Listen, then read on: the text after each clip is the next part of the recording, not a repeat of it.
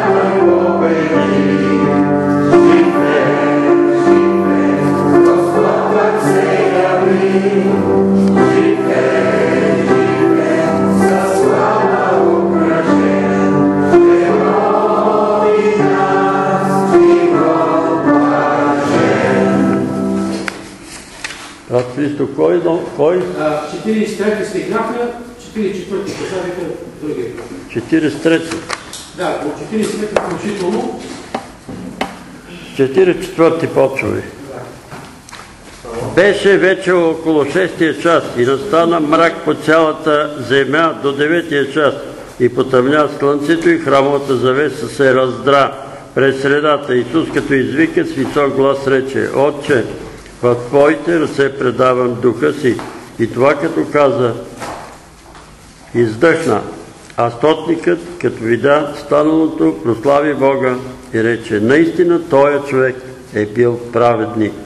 И целият народ, който се бе събрал на това зрелище, като видя станалото, връщаше се, удряйки се в гърди. И стояха надалеч и гледаха това всичките му познайници, които вървяха по му от Галилея. И ето някой си на име Йосиф, съветник, човек добър и справедлив. Той не бе се съгласил с решението и с деянията им, из Ариматея, юдейски град, който очакваше тъй също Царството Божие, дойде при Пилат и измоли тялото Исусово. И като го сне, обива плащаница и го положи в гроб, изсечен в скалата, дето никой не бе още полаган. Тоя ден беше петък и настъпваше вече събота. Първата вървяха подире и жените, които бяха дошли с Исуса от Галилея и видяха гроба и как бе положено тялото. И като се върнаха, приготвиха благовония и миро и в събота си починаха според заповедта. А на първия ден на седмицата, много рано, носейки приготвените благовония, те дойдоха при гроба и заедно с тях и някои други, а намериха камъка отвален от гроба. И като влязоха, не намериха тялото на Господа Исуса. И докато не доумяваха за това, ето изправиха се пред тях двама мъже, бляскави дрехи, и както бяха оплашени и наведени лице към земята, мъжете им рекоха, защо търсите живия между мъртвите? Няма го тука, но възкръсна. Припомнете си какво ви бе казал, когато беше още в Галилея, говоречи, че син човечески трябва да бъде предаден в ръце на човеци, грешници и да бъде разпнат и на третия ден да възкръсне. Изпомниха си думите му. И като се върнаха от гроба, обадиха всичко това на 11 и на всички други. Те бяха Магдалина Мария, Иоанна и Мария, майка на Якова и другите с тях, които обадиха на апостолите за това. И техните думи им се показаха празни и не им повярваха. Но Петър, като стана, затече се към гроба и като се наведе, видя вътре само повивките и се върна, чудейки се сам в себе си за станалото. В същия ден двама от тях, отивайки в едно село на име Емаос, което беше на 20 стадия далеч от Ярусалим и разговаряха се помежду си за всичко това, що се бе случило. И както се разговаряха и разсъждаваха помежду си, сам Исус се приближи и вървеше с тях но очите им се премрежиха, за да го не познаят. И той им рече, какви са тия думи, които във речком разменяте помежду си и защо сте тъжни? Един от тях на име Клеопа му отговори и рече, ти ли си само странник в Иерусалим и не си узнал това, което е в него станало през тия дни? И попита ги, кое? Те му отговориха, което стана с Исуса на Зорееца който беше пророк силен на дело и слово пред Бога и целия народ. Как нашите първосвещеници и началници го предадоха да бъде осъден на смърт и го разпнаха. А ние се надахме, че той е оня, който щеше да избави Израиля. Но при всичко това, днес е вече трети ден, откакто остана това. Па и някои жени от нашите ни слисаха, те ходили равно на гроба и не намерили тялото му, и като дойдоха, разправяха, че им се явили и ангели, които казали, че той е жив. И някои от нашите отидоха на гроба и намериха тъй, както и жените казаха, ала него не видели. Тогава той им рече, о несмислени и мудни по сърце, да вярвате на всичко, що са казали пророци. Нали и трябваше да пострада Христос и да влезе в славата и като начена от Моисей от всички пророци обясняваше им казаното за него в цялото писание. И те се приближиха до селото, в което отиваха, а той показваше вид, че иска да върви по-нататък. Но те го задържаха, като казваха, остани с нас, понеже при вечер и денят се превали. И той влезе, за да остане с тях. И когато той седеше с тях на трапезата, взе хляба, благослови, преломи и им даваше. Тогава им се отвориха очите и те го познаха, ала той стана невидим за тях. И те си казаха един други, не гореше ли в нас сърцето ни, когато Той ни говореше по пътя и когато ни обясняваше писанието? И в същия час станаха, върнаха се вероси, намериха събраните 11 уния, които бяха с тях. Да казват, че Господ наистина възкръснал и се явил на Симона. И те разказаха за случилото се по пътя, как го познаха, когато преломяваше хляба. Амин. Амин. Така, може да седнете. Така, тук прочетахме малко от погребението и малко от възкресението на Господ Исус Христос, което е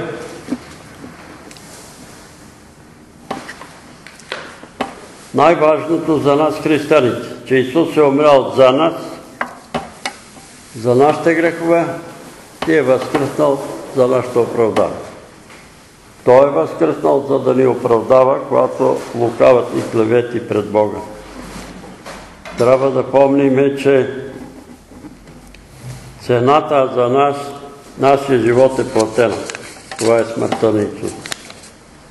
И да не се колебаваме, и да не се страхуваме, и да не се плачем, когато лукавът се ни обвинява, че сме извършили грях, че сме се отклонили, че сме се недоверили, че сме се усъмнили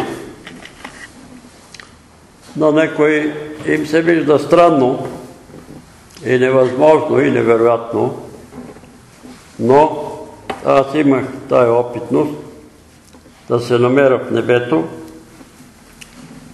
и когато Исус ме посочи и каза, той има много хубави картини, и аз казах, Господи, какви картини имам, аз имам картини.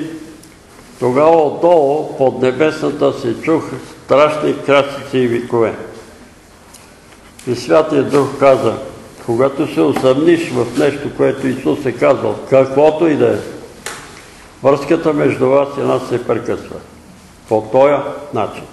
Когато ние се усъмни в нещо, което Исус е казал, връзката се прекъсва.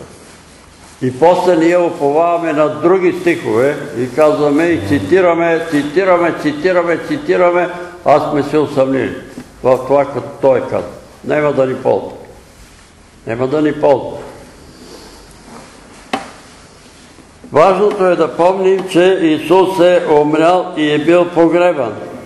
Да помним, че се постараха, престараха свещениците да поискат да се запечати гроба, да се пази от войници, защото ако не беше запечатали и не беха пазили гроба, можеха след това да излъжат. Апостолите го учениците го откраднаха. Но как се откраднат? При тая римска стража. Кой смее да скъса печата пред смъртно наказание? И така ние вярваме и изповядваме, че Господ Исус Христос умря за моите грехове и за вашите грехове. Вярвайте, когато лукавия ви атакува, когато ви обвинява, когато ви заплашва, цената е платена. Цената за нашата смърт е платена. Каквото и да прави лукавия, дори и да ни убие, тялото умира, но душата е спасена. И това е силата на християнството в възкресението. Всички религии се надяват на вечен живот. Всички религии очакват да има живот в друго измерение, както казват учените. Човеци, които се чудят как да обяснат някои работи, които не могат да се обяснят, освен да се приемат с вяра. И затова ние ги приемаме с вяра, че това е станало, че това става и ние виждаме, че Исус е жив когато сме свидетели на делата, които върши Святия Дух в Неговото име. Не може в никое друго име нито да получим спасение, нито прошка на греховете, нито кръщение, нито сила отгоре, освен в Неговото име. И делата, които върши Божия дух в името на Исуса около нас. Ние ги виждаме. Свидетели сме и от нас се иска само едно. Да изпълняваме Неговата заповед. А тя е много лесна. Да обичаме Бога и ближния както себе.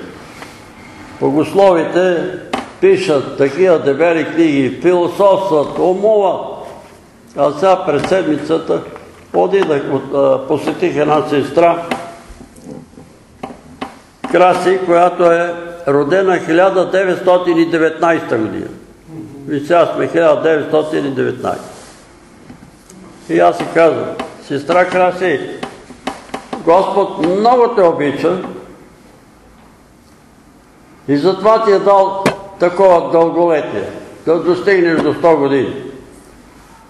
И тя, знаете ли какво ми, знаете ли какво ми отговори? Така е, вярно е. Знаеш ли защо ме обича? Защото и аз го обичам. Това е цялата философия. Обичаш Бога и Бог те обича и всички проблеми се решават. Ти обичаш Бога и Бог те обича. Бог е постоянна величина. Той не се променя. Вчера, днеска, вовеки Бог е един и същия. Той го е казал. Не може да се откаже от думите. Бог иска да се спасат всички човеци, но всички човеци не искат да се спасат. Ония човеци, които послушат думите на Исус, първата заповед, възлюби Господа Твоя Бог с цялото си сърце, всичкия си разум, с всичките си сили, с цялата си душа и ближния както себе си, това е изпълнение на закона, на пророците, на Евангелието. Това е изпълнението. И затова трябва да внимаваме на себе си къде се намираме. Защото по това казва Исус ще ни познаят. Точно по тия две заповеди ще ни познаят дали сме християни. Дали сме Христови ученици. Дали обичаме Господ. Дали обичаме Неговото домочадие. Тая сутрин сънувах баща ми, аз вярвам, че е Бог. И той ми казва много сериозно. Петре, аз имам и други синове и дъщери. Какво значи това? Това беше. Аз имам и други синове и дъщери. И си само ти. Не знам, не съм си помислил, дай Боже, никога да не си помисля, че съм само аз. Не дай си Боже. Нали? Какво иска да ми каже? Ами обичай синовете и дъщерите. Ама тия били католици, ама уния били православни, ама уния баптисти, ама те са ми синове, бе, Петър. Ама те са мои дъщери, бе. Ама те са мои дъщери, мои синове. Ама некои се препъват, ама пак са мои синове. Пак са мои. Това, което ми каза миналата година на бъдни вечер, Нали, аз се моля, Господи, моля ти се, зарадвай християните в България, да се радваме на Рождество Христово. И изведнъж ми заговори святина. Плачи, плачи, плачи за пастирите, плачи за управниците, плачи за свещеници, плачи. Защо? Защото не знаеш къде отива. Не знаеш за къде си се запътил. Плачи. Аз искам да се радвам. Искам да се радвам. Защото само си мислят, само сме ние. И ние какво кажеме, това е. Няма да стане така, каквото кажеме ние, а ще стане това, което казва Господ. Господи, спри катастрофите по шосетата. Спри, много хора загиват. Няма да ги спра. Няма да ги спра, ще загиват хора докато не се покаят. Синовете, дъщерите, внуците и правнуците на убийците. Синове, внуци и правнуци на убийците гинат по шосето. И ще продължават. И сега ще има още по-големи мерки, ама много строги мерки. Защото За пет дена са загинали, не, за три дена са загинали 15 души. За един месец 59 души по шосето. И онзи ден имаше информация за намалели са броя на самоубийците във Варна. Много млади се пърлят от Аспаруховия мост се самоубият. Миналата година са били за 6 месеца 125 души, тази година са 100 души. Правите ли смет? 100 души само във Варна се самоубият. И ние говориме велики приказки. България е големо съживление, България, народа се кае България. България гине. Само във Варна са си самоубили за 6 месеци над 100 души. Само във Варна. Официално не дават никакви данни. Преди години казаха, че около 2000 младежи загиват и се самоубиват годишно в България. 2000 души отиват директно пътуват за ада. Директно отиват в ада, защото самоубийството е непростим грях. Никой не говори за това. Преди 9 септември самоубийца не, са го опявали и не са го погребавали в територията на общинските гробища. Погребавали са ги на стърни и са ги считали за безнадежно загубени. Безнадежно. И ние танцуваме, скачаме, подскачаме, а народа гине. Народа гине. 2000 българи всяка година. 10 години, 20 хилядна армия отива в ада. А ние знаем какво правиха тук по площади. Нито един българин в ада. Да, и аз искам. Нито един българин в ада. И ние какво правиме? Нищо не правим. Само подскачаме, пляскаме и, се радваме. Какво се радваме? Че България загива. Че България умира, загива. Загива. Какво да правим с тия хора? Защо? Когато написах книгата Изцеление чрез вяра в Бога, си съмнявах дали да я напечатим. И се молих. И сънувах сън, че се намирам некъде към централните гробища и чувам. Напечатай книгата, тая книга ще върне някои хора от смърт в живот. И тогава, благодарение на този сън, аз се съгласих да бъде напечатан.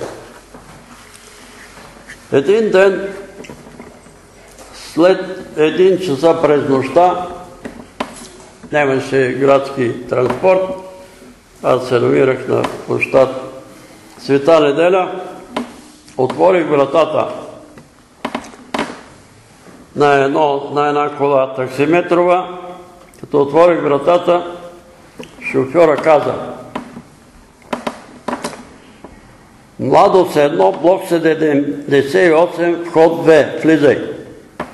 Викам, откъде ме познавате? Ще ти обясня, ще те карам без пари. Аз бех твърдо решил да се самоубия. Твърдо, разбираш ли. Разведохме се, изпокарахме се с родители, немах никакъв не намирах никакъв смисъл вече да живея. Не се занимавах, не работех, отказах се от всичко. И реших да сложа край на живота. И тогава един твой познат, Светослав Петков, ми даде една книга. И тази книга се казва «Изцеление чрез вяра в Бога». И аз се зачетах. И като прочетах тази книга, отмених решението. Реших че си заслужава да си живее. Човека ми закара до вкъщи, ама да ти плата, ти работиш, нали? Моля ти се. Миналата година отиваме във Варна, свърши службата и вънка пред църквата дойде едно много симпатично, един строен, красив младеж. Дойде при мене, казва, радвам се да се запозная, аз гледам вашите служби в Бодина Ливада. Искам да поговоря малко с вас, да отидем малко на страни. Да, заповядайте, кажете какво ви вълнува.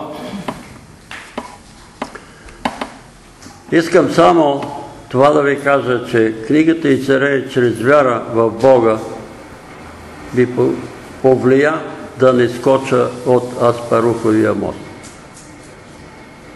Бех твърдо решил да се самоубия. Младежите във Варна скачат от Аспаруховия мост и загиват. Самоубият. Твърдо бех решил. Тая книга ме върна към живота.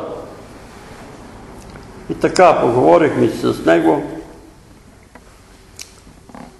И това ме кара да ми дава надежда да продължаваме да се молиме, да служиме. Преди малко ми се обади Мариан. Вие знаете, се молиме за Мариан. Това е един младеж, който беше парализиран повече от, може би, вече 15 години. Той беше труп. Караха го в Москва, присажда му там стволови клетки, лекуваха го в най-големата специализирана болница в Русия, специално за тия парализи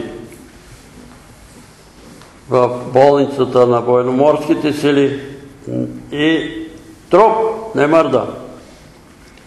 Отидахме с Димчо по-миналата година, поканени да се помолиме и той за първ път седна, докато бехме ние там.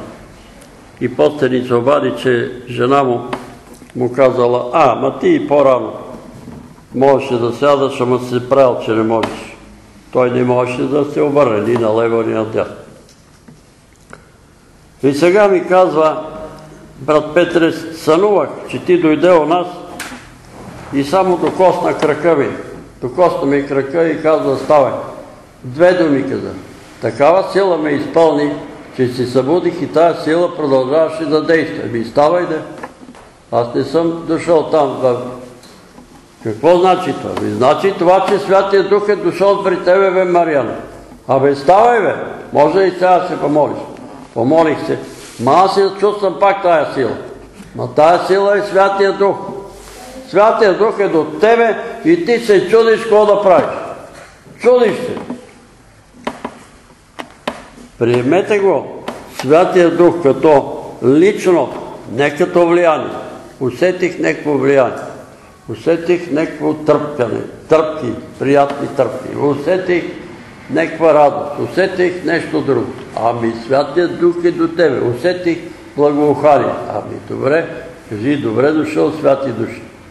Добре дошъл Святи Души. Подиграват се с този къв беше Шамбак. Подиграват му се някои евангелски.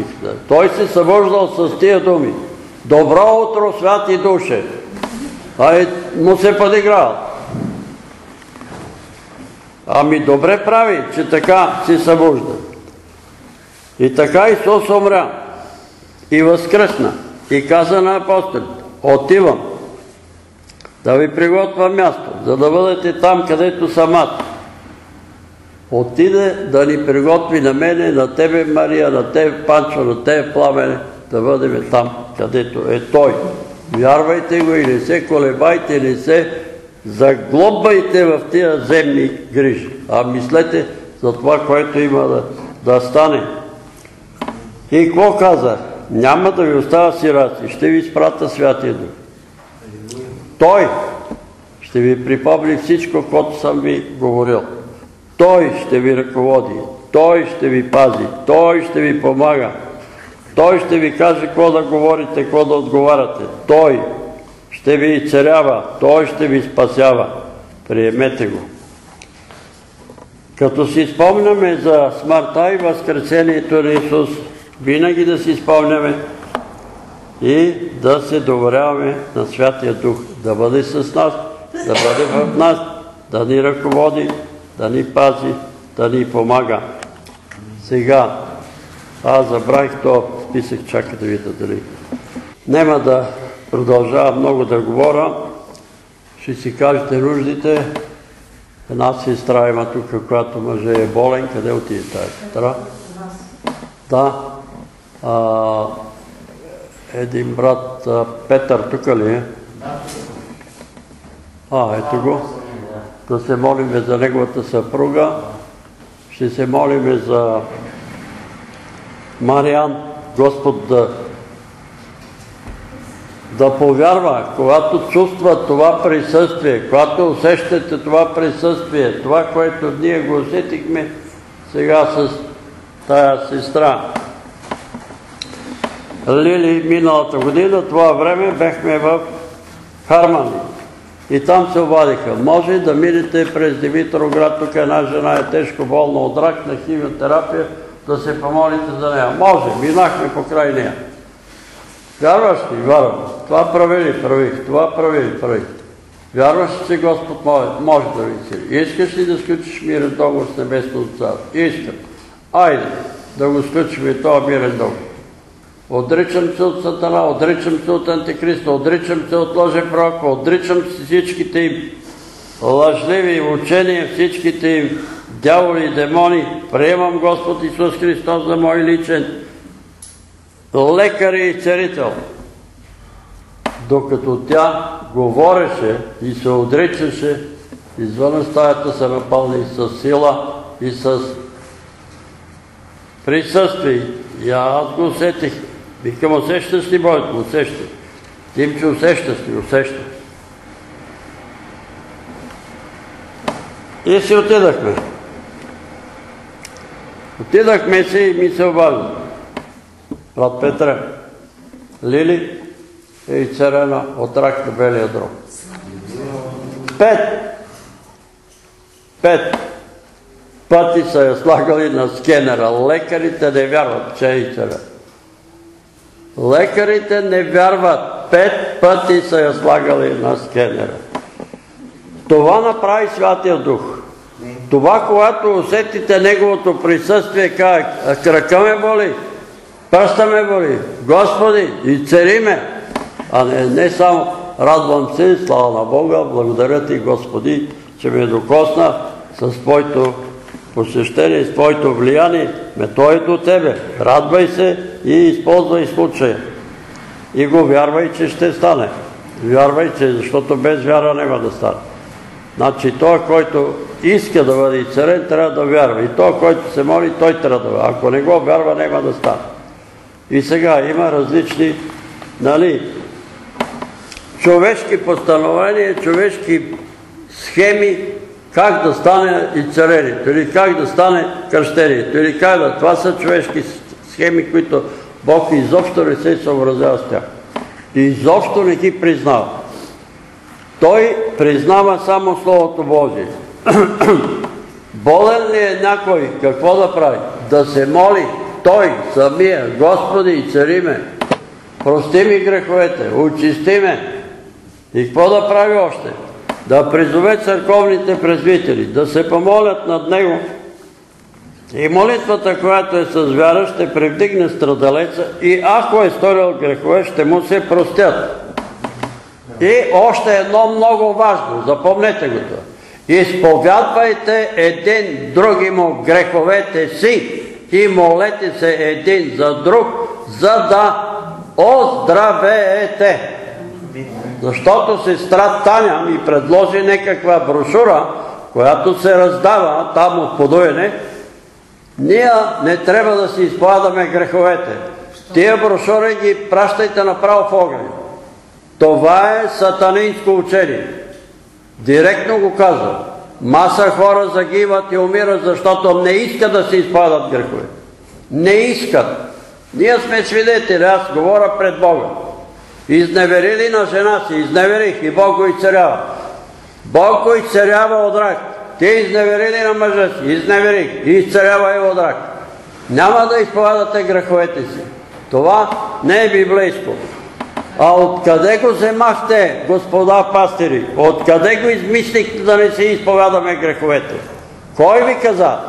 Партията ли? Масонските ложи? Кой ви казаха да не изповядаме греховете?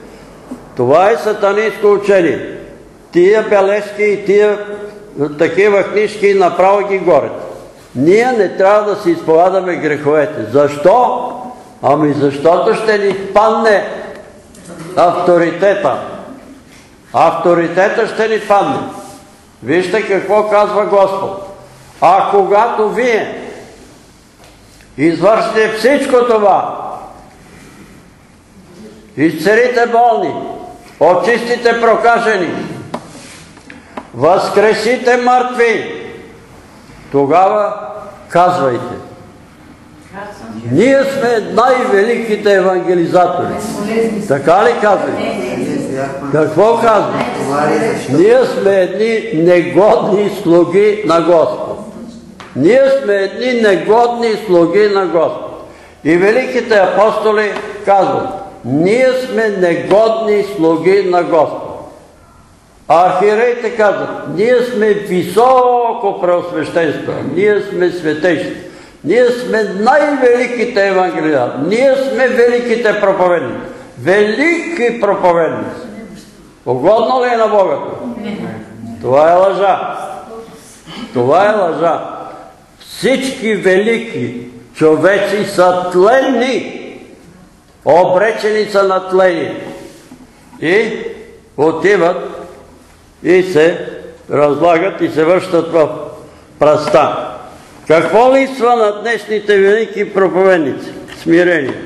Да кажат като апостоли. Ние сме едни негодни слуги на Господ. Ма това е така. Това е истина. Да не мислите, че аз съм много годен. И аз съм негоден. Ма Бог понекога ме употребява. И пламен е свидетел на неколко такива употребения. На страпенка, тумор в главата, на другия ден ни отваря черепа. През нощта тумора изчеза и се изпари. Андре, във Франция. Не знам дали помниш, аз сега съм ти записал едно тефтерче, поне си чиста къщата.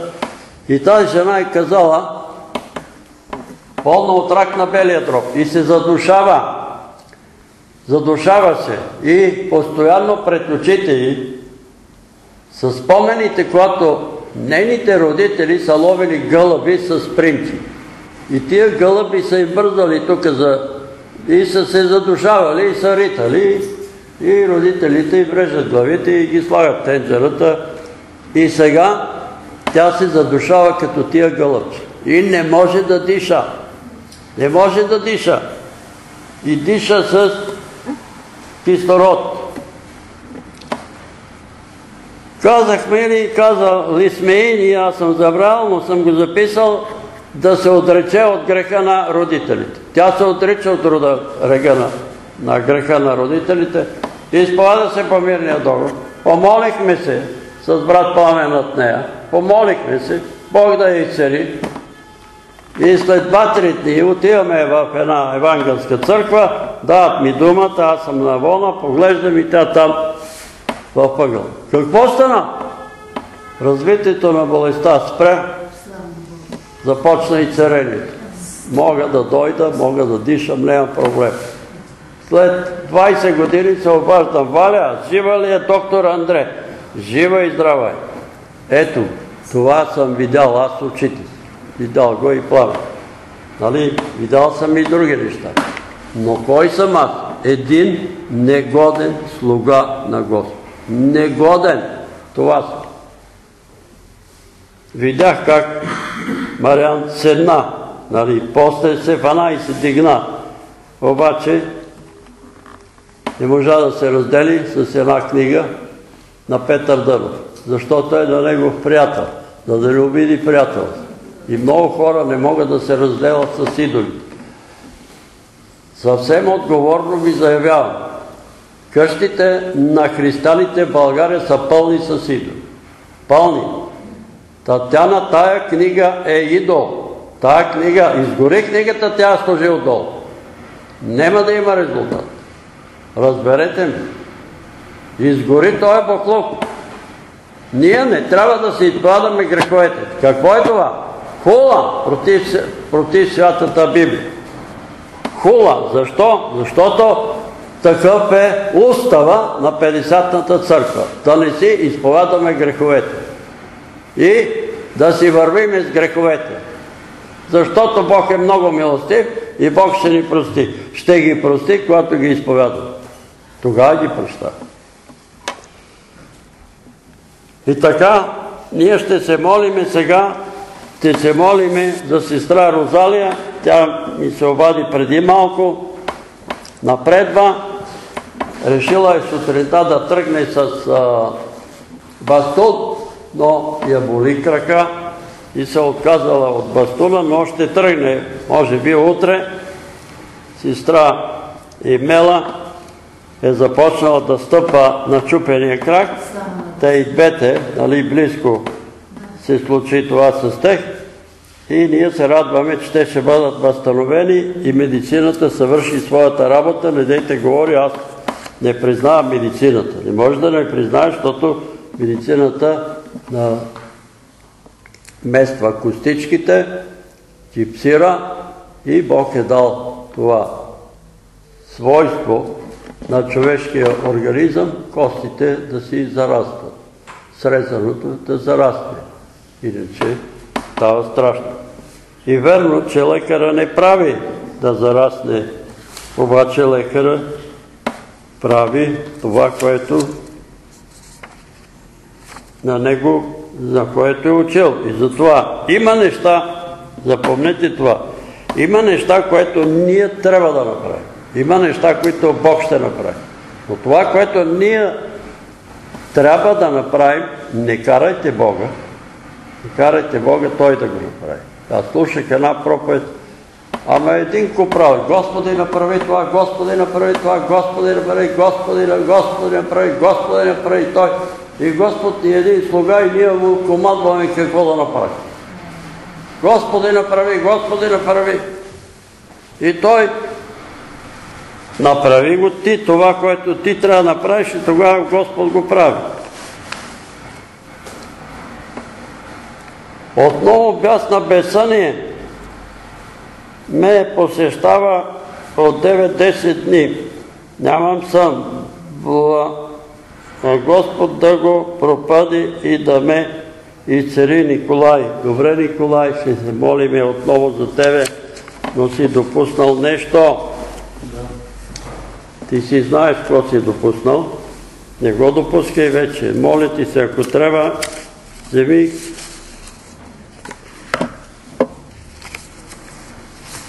телевизора и го хвърли из прозореца.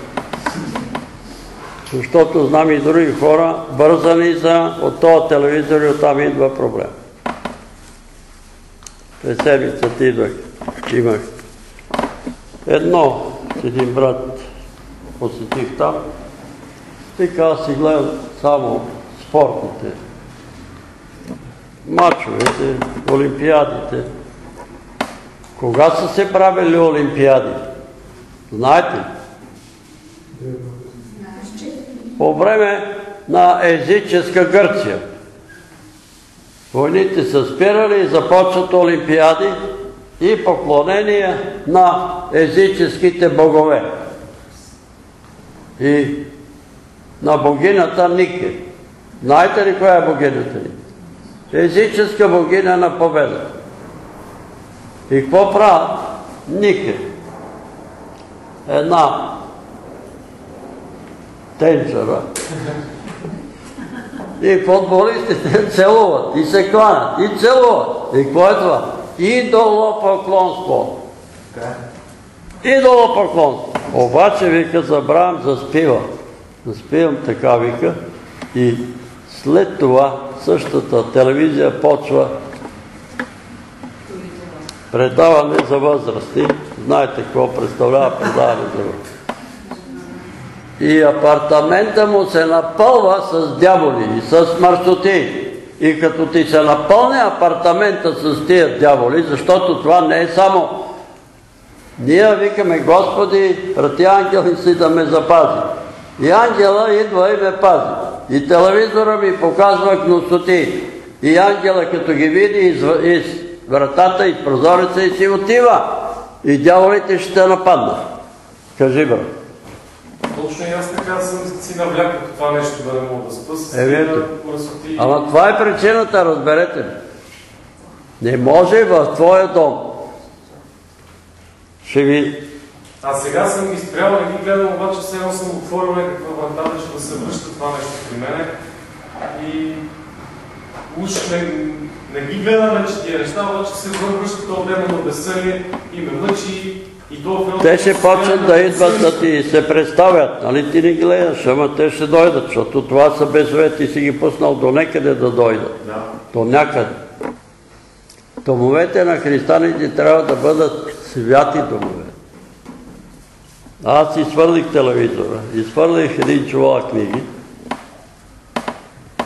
и брат Жоро и Ангел пристигат и ми носят един телевизор.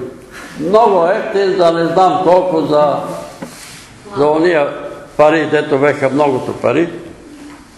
А когато изхвърлих телевизора и си очисти къщата и дома, дойдоха и спиха, спаха едни хора от дома, мъж и жена.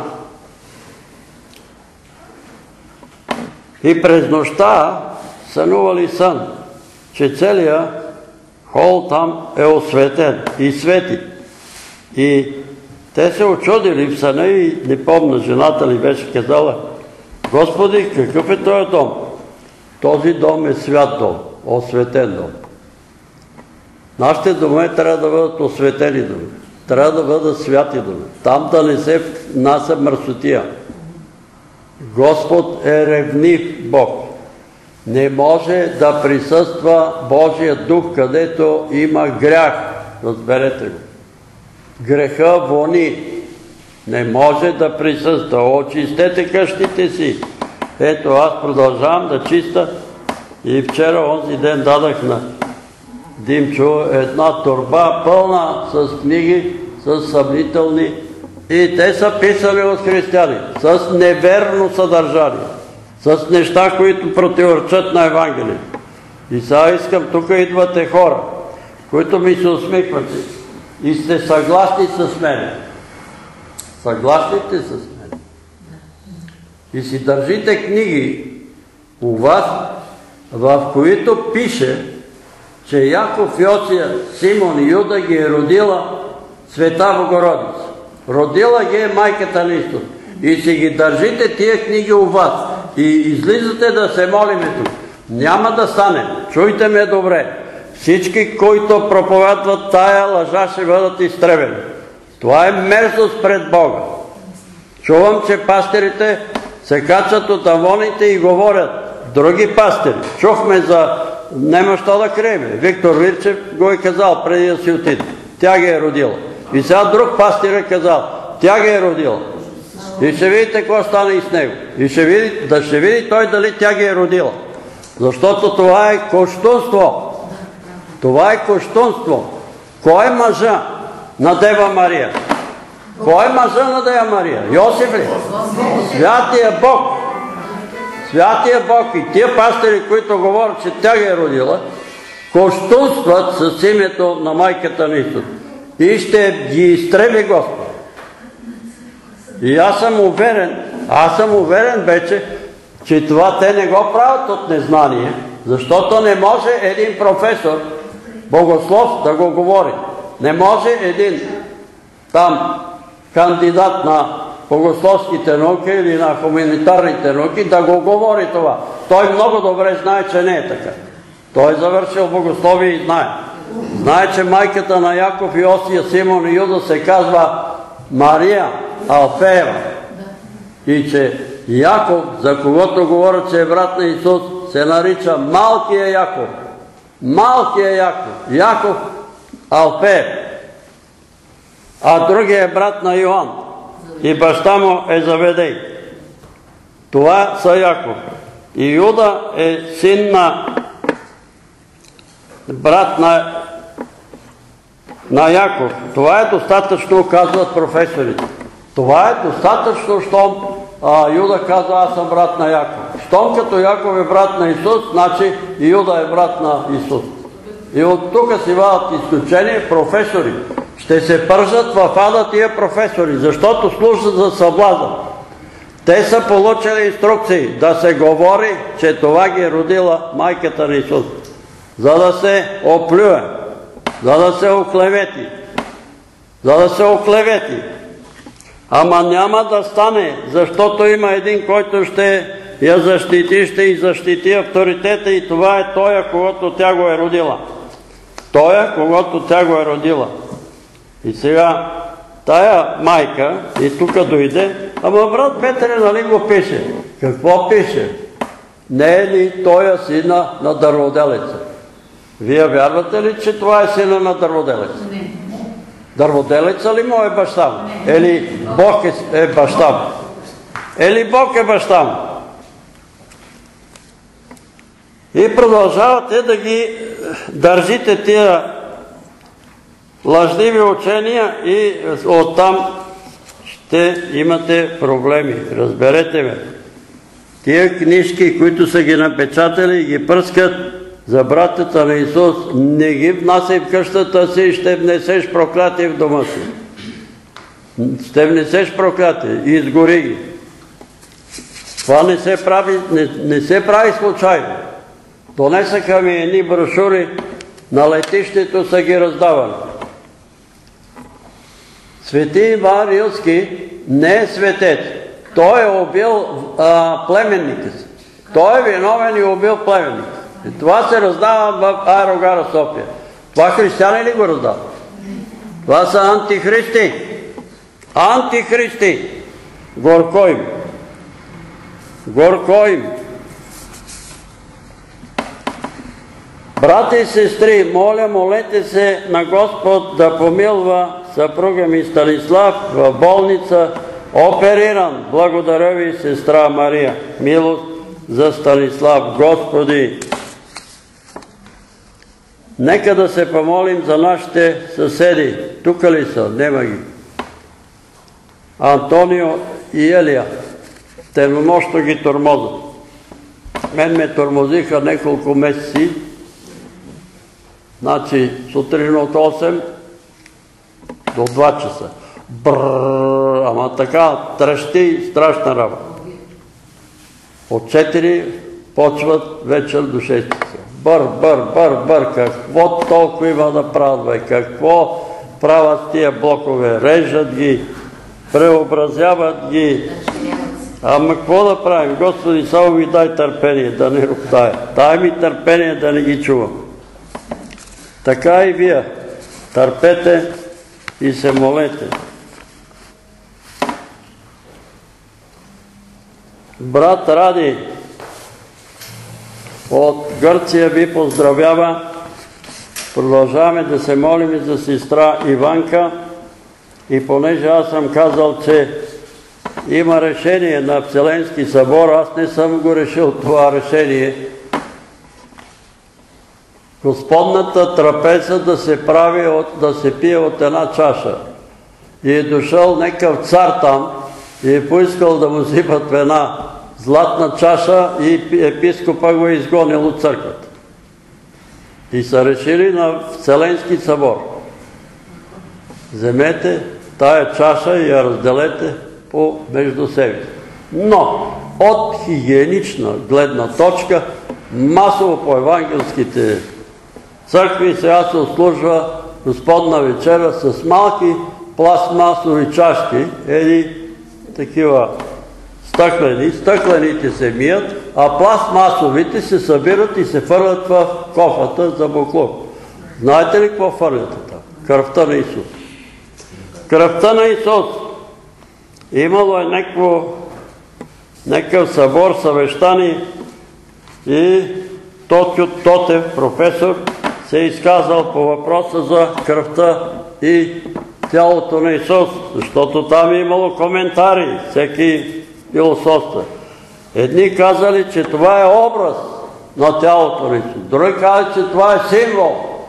Тотю Тотев казва, това е самата кръв на Исус, това е самото тяло на Исус. Няма образи, няма символи. Оние, които говорите за образи и символи, сънния ден ще ви пита Господ. Кой ви каза, че това са образи и символи? Кой ви каза? Аз ли ви казах? Каза ви вашето неверие. И така Ради ме пита какво да прави, защото там текната църква е с чашки. Какво да ви кажа? Вие решавате, аз не мога да взема решение. Вие решавате. Намерете си църква, където се обслужва с от една чаша. А като искате от малки чашки, нарушавате Вселенски събор. Вие ще си отговаряте за това нарушение. Аз само ви го казвам. Аз няма да ви съда, нито ще ви обвинявам, но нарушавате решение на Вселенски събор.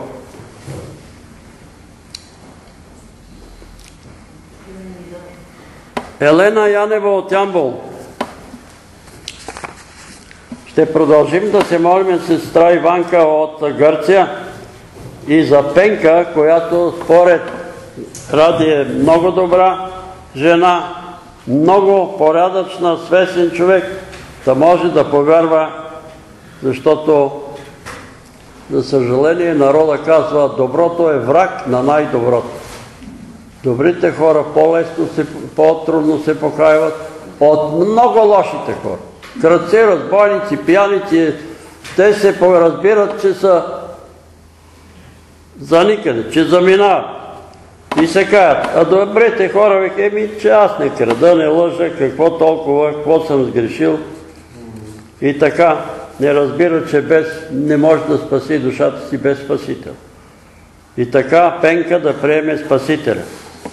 За Елена Янева от Ямбол, тумор на надбъбречната жлеза 6 см, да се молиме Господ да се смили над нея, и да я изцери. Да се помолим за Александър, болен от рак, Бог да го привлече към себе си, да повярва от цялото си сърце. Това го четахме и това го четахме. Има ли още? Няма. Така, ще се помолим и за тия хора, ще се молим и за нас самите. Кажи. Ела напред. Благодаря, вие се молите за моят пръст, преди време бях пострадал. Ела, ела, по-пади. Да, да, бях пострадал за моят пръст, вие се молите, сестра Верка беше Да? положила. Да, добре, сега вече, слава Богу, расте нов за пръста. Ръката там, де те притисна. Да, да, да. Сега може да свириш. Мога, да. Може. Слава Богу. Добре. Да, А дрежка за баба ти носиш. Ами, не нося... А тя е болница. Тя е в кома, в реанимация. Как се казва? Николина, Николина. се казва, да. Добре, ще се молим за Николина Господа извади от комата. Чета за един лекар. Показаха ми един лекар. Видях го на един таблет. Аз бех с 220 кръвно. и 230 беше миналата година и ми закараха в окръжна болница и ми направи впечатление този лекар. Младеж, един хубав, симпатичен, лети налево, надесно, помага. Тук им слага разни, не знам какво, в артериите, реже, слага, а аз лежа там. Лежах половин един час, премери ми кръвното 140-150, вика, айде, ти си свободен, заминай. И същия този лекар.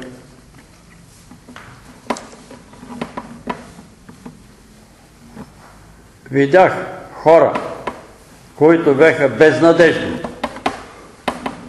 беха в кома.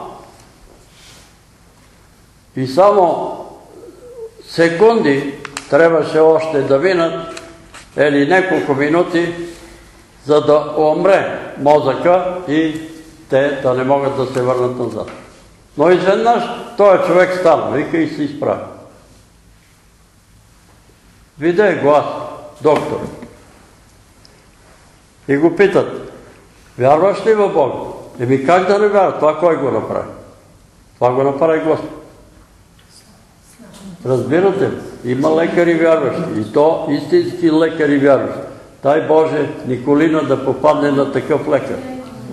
И той, аз вярвам, че този лекар се е, мисля, че беше доктор Павлов. Аз вярвам, че той се е помолил за този човек. Вярвам. Изповяда вяра. Но освен, че вярва, вижда се как с любов се грижи за хората. Тича като за баща си, за детето си се грижи. Нали? Други лекари, аз отивам в тежко състояние, едва хода, той си седна на бюрото и а, сърцето ли? А, нищо ти. Ти, си, ти вика си си внушил, вика, че си болен. Ти вика, не си добре, вика, с нервите. Викам, добре, айде, отивам при невролога. Отивам при невролога, той ме чука тук по краката, легни върте ми, нарпа ми краката, ръцете, гледай така, гледай иначе. Немаш никакви проблеми. Немаш никакви проблеми. Он е седнал на бюрото и вика, абе, ти си въобразяваш, вика, че си болен. Внушил си си, че си болен. И това е лекар, и това е лекар. Бог да благослови всички вярващи лекари. Дократно, синовете им, децата им, дъщерите им, мъжете им, жените им, всички лекари да бъдат, които вярват Бога, стократно Бог да ги благослови. Да удължи живота им като на сестра Роси, милата. Сестра Роси, браво бе, ти си 99 години. Знаеш ли, че Бог много те обича? Знам, вика, ама и аз го обичам. Това е тайната. Аз обичам Бога и Той го обича и ми дава здраве и живот. И така, болни, обичайте Бога и царенето е от Него. Добре, да каже някой друг. Една сестра и бият инжекции тук в коляно. Инжекциите струват хиляда лева. Около. Но една, те са десетина инжекции. Но за да й бият една инжекция, един лекар иска 40 лева да й постави инжекция. А другия иска 30 и трети иска 20. Какво значи това? Професора иска 40 лева. Другия лекар, а то дето най-добре ще я направи 20 лева. И само от една инжекция и там са на опашка. И те, той си бие инжекциите и 40 лева за 5 минути, 40 лева и трупа пари. И после, и после, докторе, има едно после, къде ще се деваш. Къде тия хорица, тия пенсионери с 250 лева и ти му взимаш 4, по 460 лева, само да поставиш инжекция на месец. А после, а после, и Бог да благослови такива лекари, като той, който ми спаси пръстите. Тия пръсти, един доцент там, във военна болница, доцент, беше решил, пръстите се реже. И това майор беше, застане викаме, вие имате ли акъл, На дясна ръка, двата пръста 75% го съкатявате това. Как ще му режете пръста? Разбута ги там, Вика, я да видя какво се прави. А, кой прави опера? Вика, е това, викам доцента. Той ти е срезал, вика, нервите и сега тук ще ти се пукат пръстите през зимата, защото не се, не се подхранва. Е, това е. Едни са кадърни, способни, други са пишман лекари, които са спали по кафенетата Платили си 200 лева да си вземе изпита и е станал доктор. Мой първи братовчет беше преподавател в ВМИ или беше, не помня къде беше. Той беше, на времето беше, той командваше танкови войски там в Самоков и явно беше инженер. Сигурно ме и отива на гости в банки на един негов колега. И като отида там дворец. Абе, колега, ти откъде се ма толкова пари? Той се посмива. Ма ти не знаеш ли, бе, колега? От студентите, бе. От студентите. А как от студентите?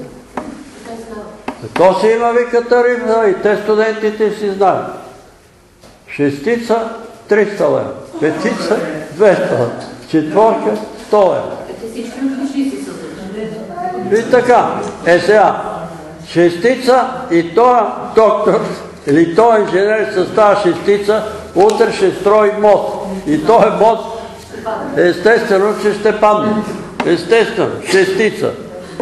Пращат 300 лева и получава, като и уния там, нали, на Свети Серафим в Руската църква.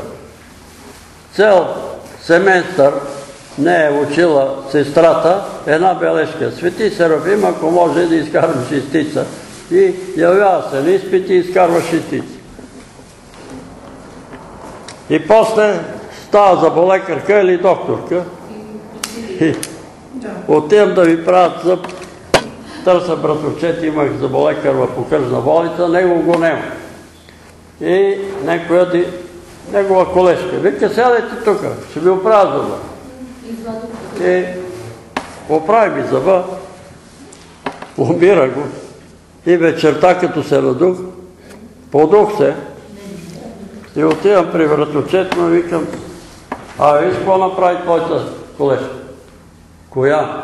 Димитровата. Ха-ха-ха-ха-ха. Е, това беше. Само това каза. Вратовчет. Ха-ха-ха-ха. Е, отвори го, зъба и чисти го оправи. Та направо го е залепила, та би готова. Заболекарка. Какво да ти кажа? Димитрова. И съм я запомнил. Значи Димитрова, но мърлява. То трябва да се изчисти, трябва да се провери.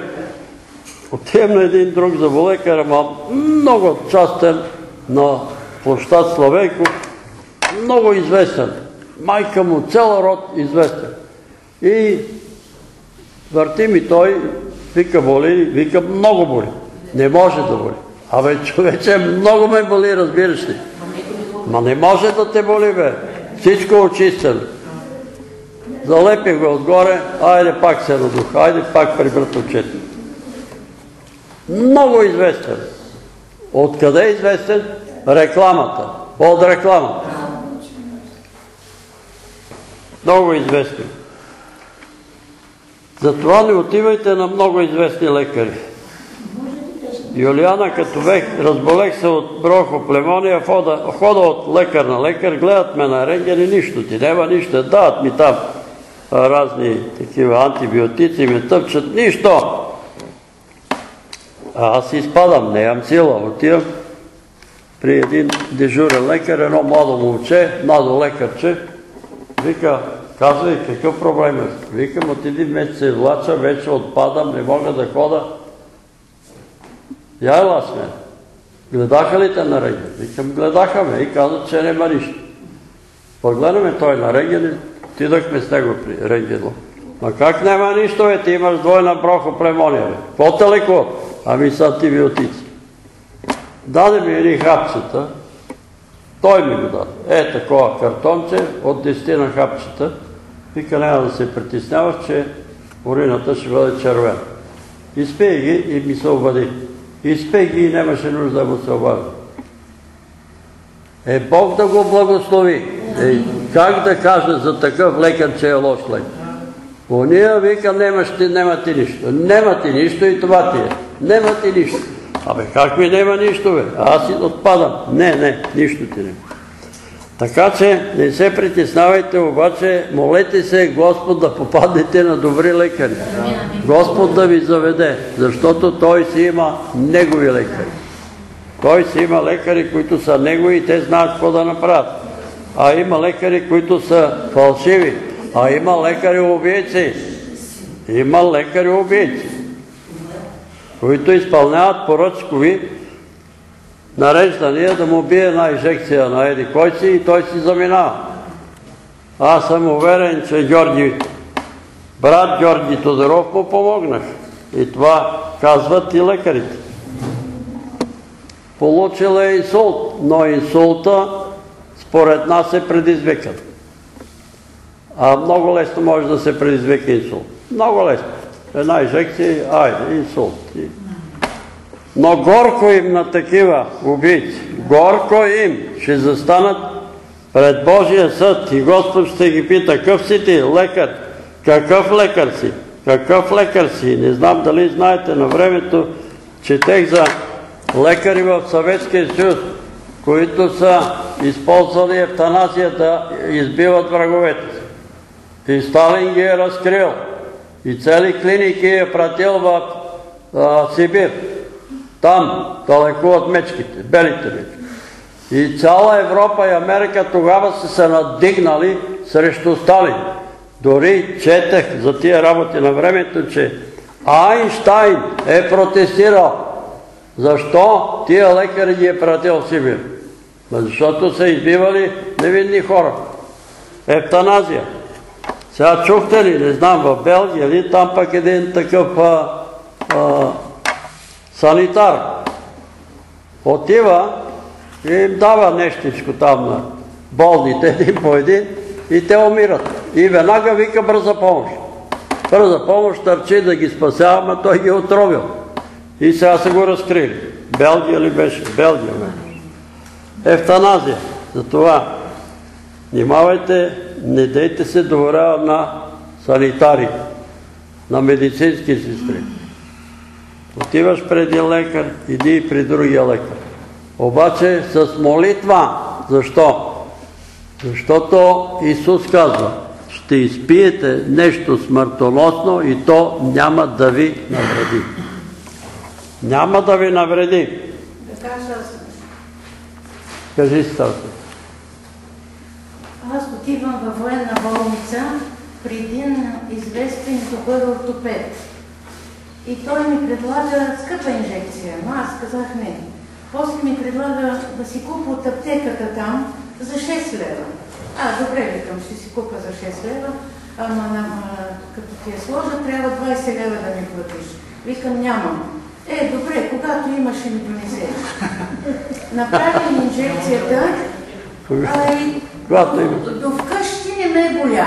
Само до вкъщи. Само до вкъщи си отидах. Да. Аз не му занесах парите, защото ми се даде, не знам от Бога или не е ли от Бога, че той зад гърба ми е служил не, лидокаин. Не е тази инжекция, която купих, а мисля, че ми служи лидокаин. Само до вкъщи не ме боля. Само да не те боли. Само до вкъщи. И не му занесах тези 20 лева. Защото после заболя. Но отидах с молитва. Молете се Господ да ви пази от фалшиви лекари. Да. А, и да се помолим за Николай. Той ни изповядва. Не може сам да се справи и Бог да му помогне там. Амин. Господ на помощ на Николай. И на всички нас.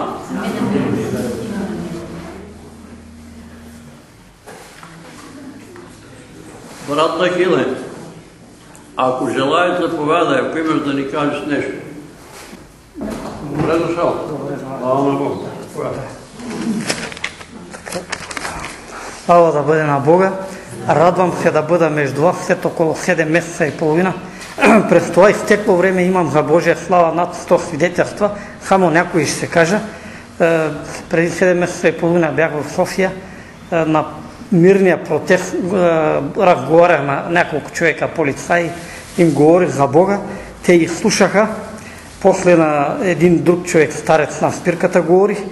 И така навръщане в един град седнахме в едно кафе с един брат, 81 годишен, негови познати, началник полиция на времето е бил и другия, и, и те са били полицаи, сега пенсионери и слушаха за Бога. Имахме един хубав делови разговор и след няколко дена на 6 декември отидохме в четирима братя в е, затвора в е, Търново. Дойдоха около 12 затворници и слушаха за Бога.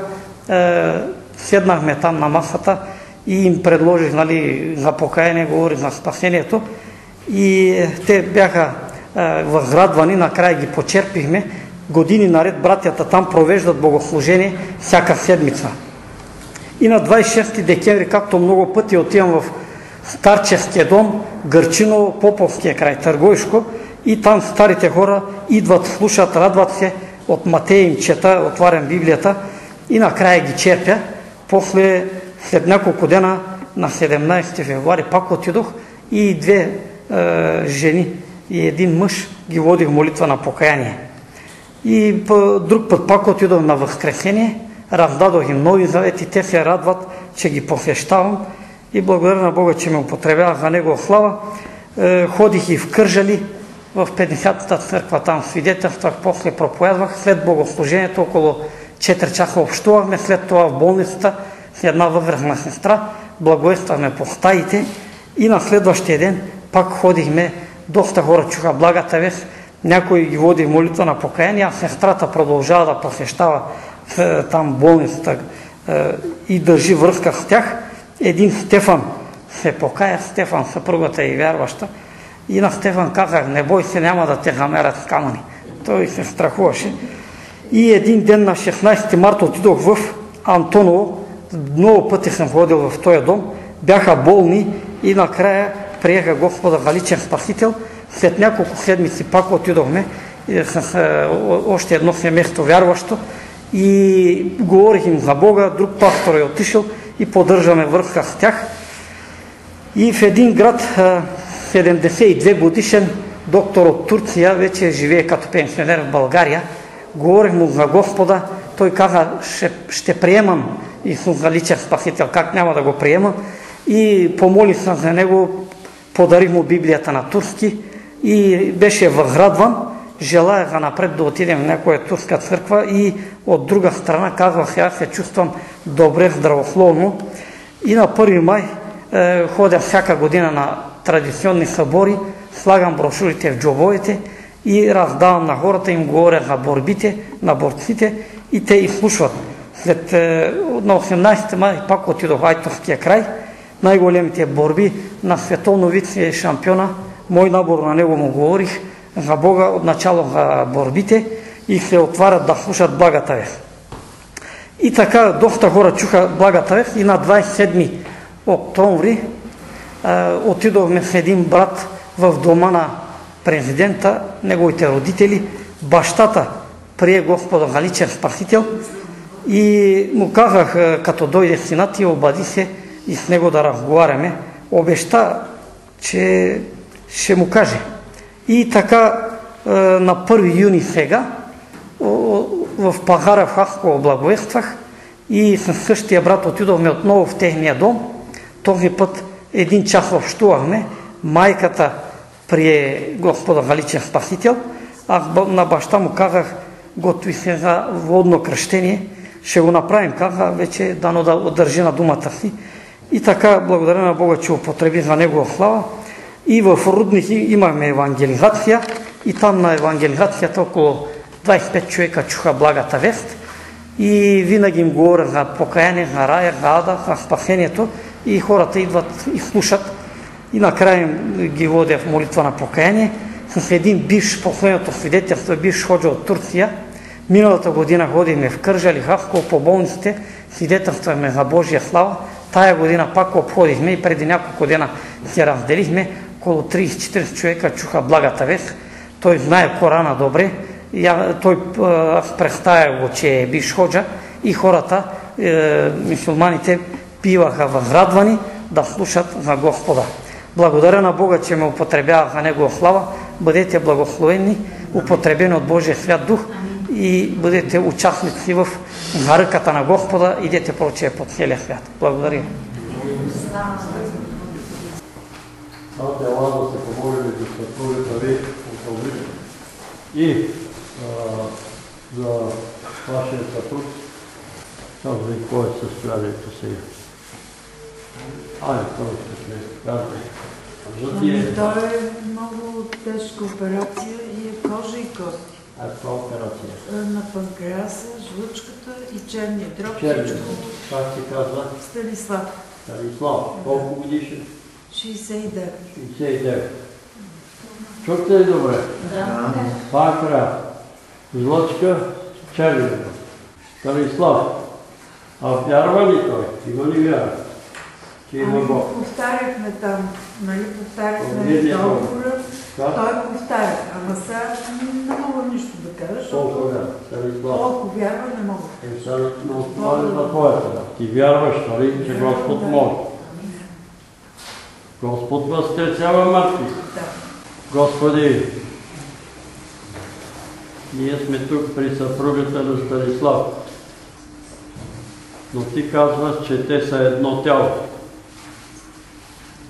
И като се молиме за нея и чрез нея Станислав да бъде изцерен и изповядваме вяра, че ти възкресяваш мъртви, когато искаш и затова те молиме да възкресиш. Станислав. Лекарите са на мнение, че нито черния дроб могат да изцерат, нито панкраса могат да изцерат, поддържат го някак си там, той се е изтопил, но ти си мощен и силен да възкресиш мъртъв човек. Ти имаш резервни части и затова те молиме, Господи Исусе Христе, молиме Ти, Души Святи, в името на Господ Исус Христос, Ти да подмениш панкраса, черния дроб и жлъчката на Станислав. Молиме Ти, Ти си животворящ дух. Алилуя! Ракът, който е поразил панкреаса, злъчката и черния дроб на Станислав, да умре в името на Исус. И всичко, каквото е сътворил там да се разсипе и да изчезне от тялото на Станислав. Душе святи, животворящ дух си ти твориш. И ти твориш и органи, и системи, и ти си сътворил всички риби, всички живи същества. Чрез тебе са сътворени, чрез Божия животворящ дух.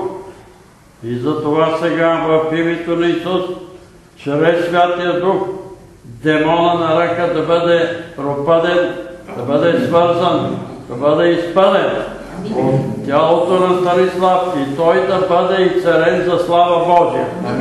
За да се прослави името на Господ Исус Христос чрез Святия Дух в живота на този човек, който е много измъчен и много болен и нещастен. Молиме Те, Душе Святи, за пълно божествено изцеление на Станислав в раните на Исус да бъде изцелен. Чрез кръвта на Господ Исус Христос да бъде очистен от всеки грах и от всяка неправда. Господи, моля Те, Творец и Господарю на Вселената, Отче святи и праведни, погледни на Станислав през жертвата на Божия Син. Погледни на Него през кръвта на Исус и заповядай. Освободете го от гроба. Върнете го. Заповядай да живее и да прослави името. Ето, костите му се подават. Той е отслабнал много, но ти заповядай да се, заповядай да се възстанови съвършено и да дойде между нас и да ни зарадва, че ти днес вършиш чудеса. Молим те, Отче святи и праведни, чуй молитвата на това малко събрание. Изпълни желанието на сърцето ни да видим Станислав и царен, спасен и прославяш името Господне. Амин. Едно. Това е постоянно изследвания. Сега говорят за автоимунно заболяване. Автоимунно заболяване, съмнение за... Автоимунен дявол е това. Кажа. Ами, честно казвам, аз не мога да си го обясня. Най-точно Говорят също, че съмняват се за хепатит С. Хепатит С. Се, ама има ли? Ами, Може ли? Единият доктор казал, че какво днеска доктор, като бях на, на визитация там, и вика, ми ще видим още изследвания, не сме сигурни. Сега има доказано в годината гъби, че такива бактерии. Бактерии. Е Да, и може оттам да е. Да. Това възпаление прави и в мамили пак някакви бактерии изследвали, и казали на нея. Че Колко време е изследват? те във Варна изследваха, не знам, тя спря два месеца и половина във Варна, изследваха, но всичко, какво се изследва и всичко уж беше, показва, че е наред, пък тя не е наред. В смисъл, периферната система удари вторично. Аз го знам. Всички параклинични изследвания нормални стойни. Петър Велев е здрав и трудоспособен. Аз не мога да ходя. Е, точно ти виж първия път, като изписа. Аз не мога да ходя, те викат здрав и трудоспособен. Те викат, Ето, също. здрава, здрава, вика, да с- що вика, защо вика, вика, вика, че е боли, като и здрава. Тя не може да стигне крака. Само Бог. Не ми цели Господ. Аз, Ами, Само Бог. Е, лекарите ми изписаха, даже на картона. Интересно беше ми служило едно кръгче с черно, половината черна, нека печатът. И аз като си влезна с картона, това, този печат падна. И умирам. Отидах, аз съм го казвал, на тебе го казвам. Отивам от болницата с тази диагноза, здрав и трудоспособен, в поликлиниката Младост. Не съм закусил да ми вземете кръв и урина. Взимат ми кръв и урина, сутринта пристига районната лекарка доктор Филипов. Кой е Петър Велев? Аз съм. Веднага трябва да влезете, изследванията са ви ужасни. И аз си да, е там се разписат десетина доктори. Здрав и трудно. Тя чете, е така каза, за ръце и вратата и свети. И аз лъжа и чакам да умирам. Обаче Господ ми каза на със. Ставай и се моли. Предай го на съпругата. Ставай и се моли цяла нощ. И аз си мисля, защото не мога да дишам, не мога да хода. Имам сила. И си мисля, че ще умра на колене, тъй като дойде сестра ми да се намари на колене и нали, народа да разбере и Петър е умрял на колене. И като почнах да се моля, почнах да се моля, стана нещо, което при мен стана, дай Боже, и при съпругата ми. От дясната ми страна, както бех коленичил така, нали, блесна една светлина и видях един ангел, така и така краката му, ми показва как да застава. Обаче от него дойде сила. Както сутринта сега ми говори Мариан, че е сърло сън, аз съм го хванал за крака и от крака върху цялото му тяло сила. Тая сила е Святия Дух. И то около нас. И той чака да го приеме. И сега трябва специални условия, специални схеми, за да приеме Святия Дух. Абе, приемах го, пращам и Святия Дух приемете. Святи Душе, молите се. И като дойде тая сила върху мене, и аз от 6 часа вечерта, 6 часа сутринта чувам. Ставай, приближаваш до царя, искай най-добри неща. И аз не знам какво да искам. Първо помислих, мъдрост, а, по-мъдър от Соломон няма да стана. Какво да искам, Господи? И се сетих, сетих се. Ти да си в мен и аз съм в Тебе. Това ми стига, Господи. А когато Той е в Тебе, когато Той е в съпругата и Той Святия Дух е там има и сила, и има и здраве. И тогава ми се казва, ставай, излиза на мъж. Аз не мога да ходя. Ставай! Излизам, беше през зимата, лека по лека. Отидах на 200 метра, беше снег, бех облекал един платон и легнах малко в снега да си отпочина. После станах, върнах, ставай, излизай. Следващия път отида до, горе телевизията, на около 2 км и тръгнах. И така, това заболяване, нито не знам какво е, какво са го там писали, защото са писали здрав и трудоспособен. Това не е верно, това е лъжа. Затова тя да се моли, святи души е злата, ние се молим. И вярваме, че ти и тя сте едно тяло. Нали? Щом за тебе се моля и за нея се моля. Господи, идваме при Тебе с Твоя раб, брат Петър. Ти познаваш и него, ти познаваш и съпругата му. Ето, това ме си във Варна, сега тук търсят диагноза и не могат да намерят диагноза. Може би тая диагноза е един дявол, болестен дух, И за това сега ние, като се съединяваме с Божия Дух и в името на Господ Исус Христос, заповядваме болесни душе да напуснеш съпругата на брат Петър и нямаш власт и дял над нея. Напускай тялото й, душа нечисти, който се представя за автоимунно заболяване. Дух болесен и изчиства в името на Исус. Напускай тялото й. Петър и неговата съпруга едно тяло. Ние се молиме за него и вярваме, че там действа Святия Дух. Душе святи в името на Исус действа и върху съпругата на брат Петър.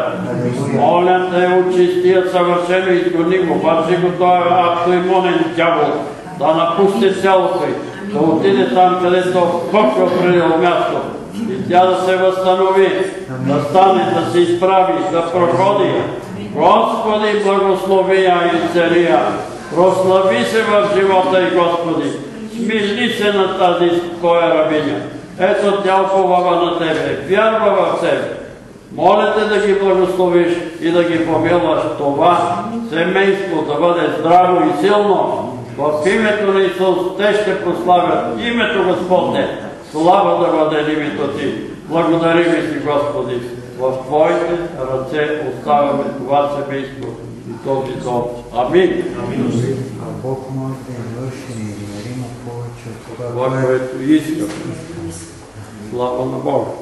Има и още нещо. Гледам петолъчки на обувките.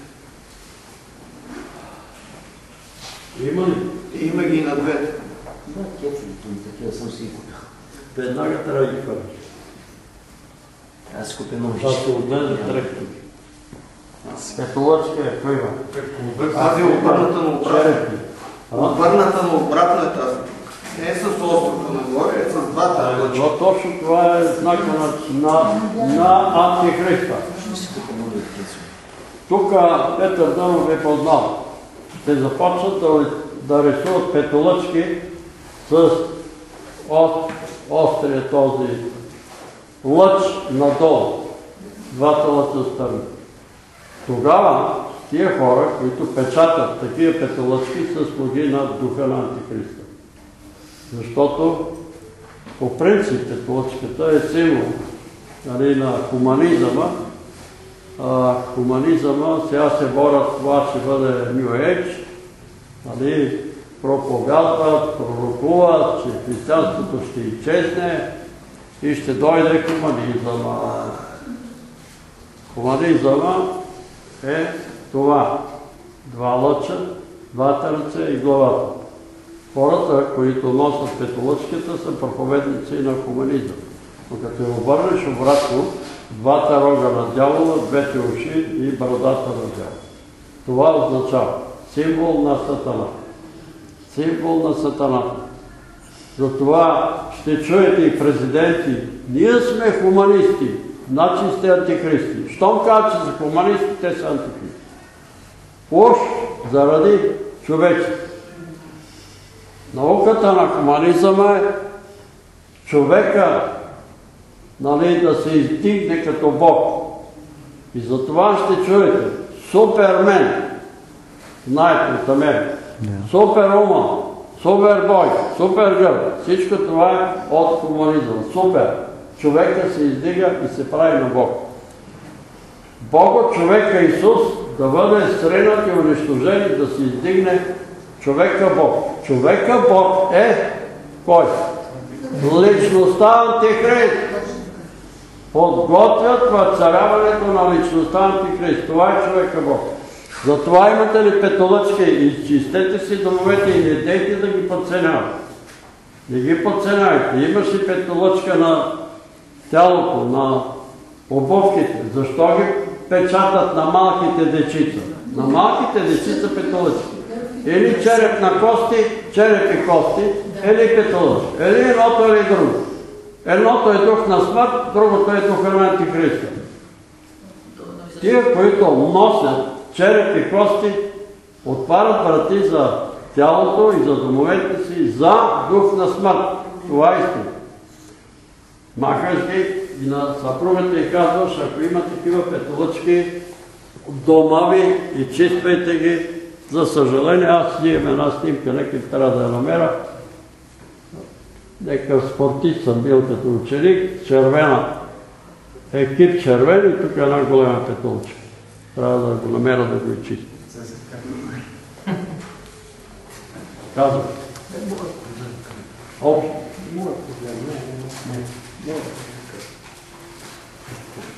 Господи, молим се за брат Николай.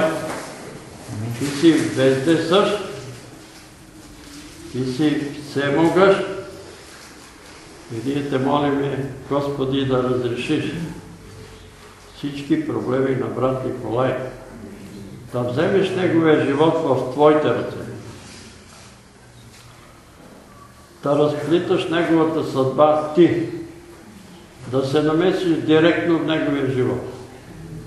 Ние те молиме, Господи, да го срещнеш подходяща другарка, сестра в Господа, и затова го благославяме да създаде едно здраво християнско семейство.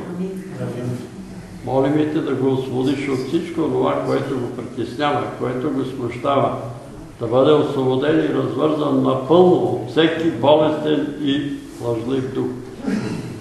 Дяволе, в името на Господ Исус Христос ти заповядваме да се махнеш от брат Николай, да стоиш на страна от живота му. Господи, ако има наследствена обремененост, унищожи я, покрий с Твоята кръв. Ако има срещу него изговорени клетви, заклинания, проклятия, разруши ги, защото Ти разрушаваш делата на дявола да се разпръснат всички болести и нечестиви духове от живота на Николай. Да се възвеличи Господ на силите в живота на брат Николай. Да се прослави името Господне в живота му. Господи, направи го Твой. Служител, стълб в Божия храм. Да носи благовестието, да разпръска, да разпръсне истината, за това, че ти си универсален лекар и лекуваш всяка болка и страдание. И че си универсален Бог всемогъщ, който изпълняваш всяка нужда и всяка немощ и всяка болест. И царяваш и прощаваш. Амин. Хлопайте и ще ви се отвори, търсете и ще намерите, искайте и ще ви се даде. Непрестанно Повечко трябва да се молиш. Малко повечко. Гледаш ли много телевизия? Да, филми. Футбол ли? Филми, филми. Филм. А това са измислици филми. А също и непрестанно се молете за всичко, благодарете и от Бог, който ви в тайно ще ви се... Повечко молитва, повечко молитва, повечко подканване, ти го подканване. Айде да се помоля. Айде сега да почитаме. Айде да се Дядо ти? Да. Как се казва? Владимир. Владимир. Господи, ето нашия брат Юлиан предлага своя дядо Владимир. Той е болен от псориазис. Ние сме свидетели, Господи, на двама души царени от псориазис. Едната е Елена Занкина, която целите и крака, тялото й беше в рани, и само една молитва, тогава бяхме на Емил Марков, се завирахме, тя дойде за първ път, застана пред нас, помолихме се и болките и болестта изчезна. Сега дядото на брат Юли е в Благоевград или там в селото около Благоевград. Но ти си Бог отблизо и Бог отдалече и ние те молим да го посетиш тази нощ да го изпълниш със сила отгоре, душе святи, от темето на главата на Владимир до краката му, да бине огъне на Святия Дух и да изгори псориазиса, да изчете псориазиса в името на Исус. И той да познае да вкуси, че Господ е благ. Моля те и за брат Юли, пази го, да не се отговори нито наляво, нито надясно, но да държи здраво учение. Да държи пълното и чисто Евангелие. Благослови баща му, майка му, целият му дом и род и взимаш един човек и спасяваш цели домове. Затова те моля, укрепвай го във вярата, изпълвай го с силата на духа. Пази го да не се отклони нито наляво, нито надясно. Пази го от съблазни, от изкушение, от прославяне на човеци, но да търси и да намери само истината и само пълното и чисто Евангелие. Амин. Мишено и една стрела се е забила точно в центъра. Ами не знам, това е целта е добра. Да, виждам за да. Една аз баница, една горе да бъде. Пече баница. Ами не е лошо, валицата, ама не. Храни се за духовна храна, но е подсладена. Нали? Подсладена храна, баница. А Бог иска да ядем хляб, защото сърцето се укрепва с хляб. А хляба е Божието Слово. Кажи му, дедо, ако четеш някакви други книги, дай сега да почнем да четеме Новия Завет, да четеме Евангелие. Добре, да се изправим и да се молим. Господи, идваме при Тебе съзна, съзнанието, че сме негодни слуги. Но очакваме помощ и сила отгоре и ние вярваме и изповядваме, че всичко, кое, на което сме свидетели, е извършено от силата и действието на Святия Божий Дух. И затова те молиме, Душе Святи и Душе на истината, сега да посетиш Николина там, където е болницата, да изцериш мозъка й, да я възстановиш и да я върнеш от смърт в живот, да я освободиш от връзките на смъртта, да я възкресиш за нов живот. Чуй молитвата на сестра Естир. Изпълни я, Господи, в сила. Молиме те, смили се за Николина. Помилвай я и покажи милост към нея. Господи, и цария, за да се радваме нейното и царени. Молиме те сестра Розалия. Благодариме ти, че сега е по-добре. Ето вече тръгва без проходилка с бастон. Трудно и, но ние вярваме, че ти ще я и цариш съвършено. Защо и за сестра Имела? И тя вече стъпва на болния крак. Да няма никакво осложнение, нито на крака на сестра Розалия, нито на крака на сестра Емела, но да се възстановят съвършено. Молиме ти за този човек, Александър, Господи, ние не го познаваме. Ти го знаеш, ти го познаваш, той е болен от рак.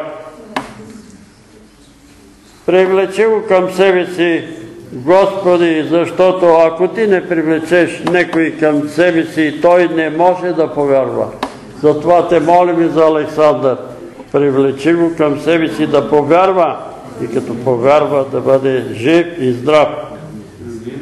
Ние те молиме за брат Николай, Господи, за пълно и царение от това безсъние. Помогни му да захвърли телевизора и да престане да се облича, защото това е причина да не може да спи и да бъде тероризиран от дух на безсъние. Дух на безсъние в името на Господ Исус Христос ти заповядвам да напуснеш Николай и да отидеш там, където Бог ти е определил място и да не се връщаш.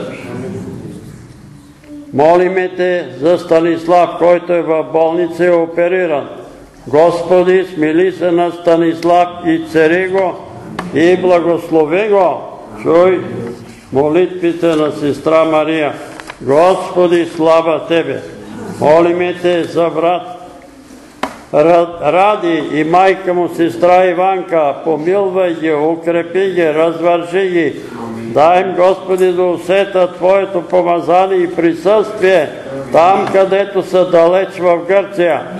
Също те молиме за тази жена Пенка, привлечи я към себе си, да познае истината, истината да я направи свободна.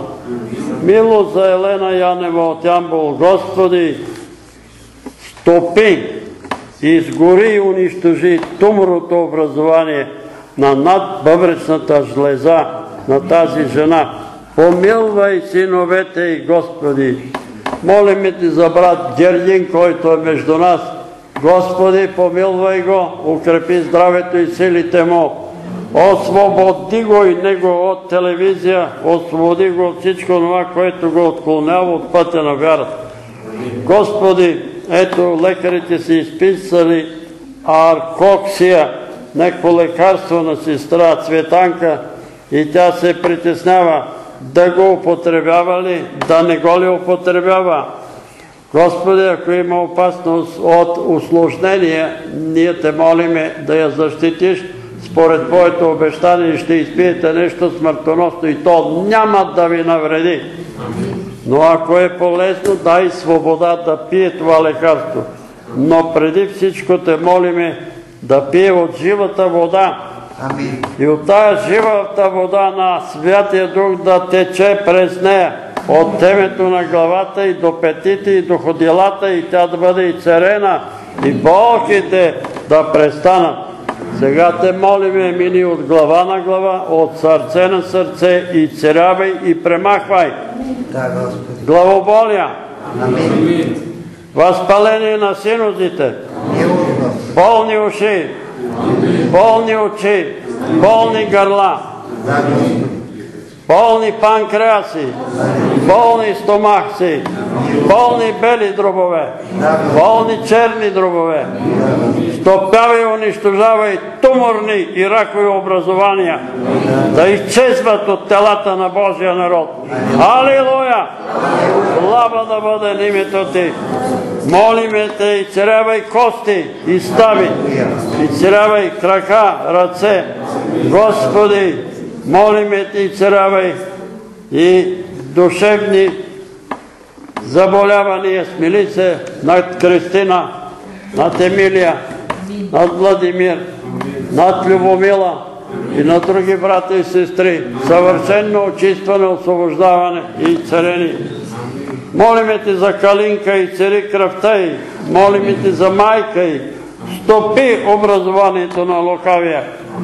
Изцери я съвършено и на свобода. Молиме Те за сестра Цветелина, за нейната съседка, която е болна от рак. Господи, смири се за майката на Цветелина и цари колената й. Мини сега, молиме Те, от глава на глава, от сърце на сърце. Молиме Те, ела душе святи, ела душе на истината, ела с Твоята сила и нека Твоята сила да премине от главите ни до петите ни и да бъдем и царени от всяка болест и от всяка немощ. Алилуя, слава да бъде името. Господи, помилвай ни, слава Тебе. И сега всички заедно желаем да Ти се помолиме с молитвата, с която Твоя син ни е научил да се молиме. Отче святи и праведни, и като се молиме да казваме Отче наш, който си на небесата, да се святи името Твое, да дойде царството Твое, да бъде волята Твоя, както на небето, така и на земята. Хлябът наш насъщни, дай го нам днес и прости ни дълговете наши, както и ние прощаваме на нашите длъжници.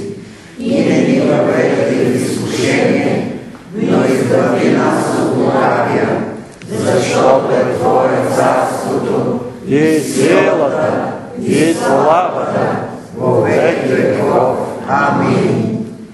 Вярвам в един Бог Терес, Вседържител, Творец на небето и земята, на всичко видимо и невидимо, и в един Исус Христос, Сина Божий, единородния, който е роден от Отца, преди всички векове, светлина от светлина, Бог истинен от Бог истинен, роден, несътворен, единосъщен с Отца, и чрез когото всичко е станало, и който заради нас човеците и заради нашето спасение слезе от небесата и се въплати от Духа Святого и Дева Мария и стана човек и бе разнал за нас при Понтия Пилата и страда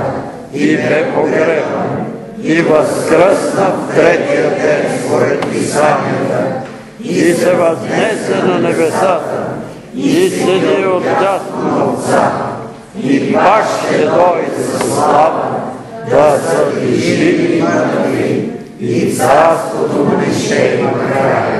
И Духа Святого, Господа, животворящия, който от Отца изхожда, комуто се полагаме и го славиме наравно с Отца и Сина, и който е говорил чрез пророците, една свята, вселенска и апостолска църква, изповядвам едно кръщение за опрощаване на греховете, чакам възкресението на мъртвите и живот в бъдещия век. Амин. Изповед ще правим? Господи Исусе Христе, Господи Исусе Христе, идвам пред Теб с вяра, идвам при Теб с вяра, че Ти си Божия Син, че Ти си Божия Син, умрял за греховете на целия свят умрял за греховете на целия свят и за моите грехове. и за моите грехове. Съжалявам за всичко, което съгреших. Съжалявам за всичко, което съгреших, С думи, мисли и дела. Думи, мисли и дела, Волно и неволно. волно и неволно. Моля те да ми простиш. Моля те да ми простиш, Аз от сърце прощавам аз от сърце прощавам на всички човеци, на всички човеци, които са съгрешавали против мен. които са съгрешавали против мен. Моля те и ти да им простиш. Моля те и ти да им простиш. Господи, аз обичам и почитам моите родители Господи, аз обичам и почитам моите родители и родителите на моите родители. и родителите на моите родители, До трета и четвърта рода, до трета и четвърта рода, но се отричам от греховете им, но се отричам от греховете им, от неправдите и беззаконията им. от неправдите и беззаконията им, И те моля и ти да им простиш греховете. Ако върху мен има проклятие, поради мои грехове, или грехове на мои роднини, унищожи го, Господи, и замени го с благословение, и замени го с благословение, защото е писано за теб,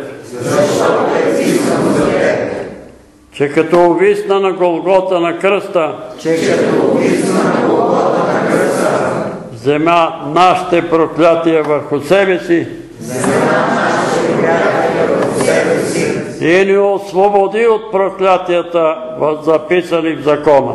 и ни освободи от проклятията, записани в закона. Ако срещу мен са изговорени клетви, Ако срещу мен са изговорени клетви, заклинания, магиосничества, унищожи ги, Господи, защото е писано за Теб, че като дойде Син Божий, ще разруши делата на дявола. Сине Божий, дойди и унищожи делата на дявола в моя живот. и унищожи делата на дявола в моето семейство.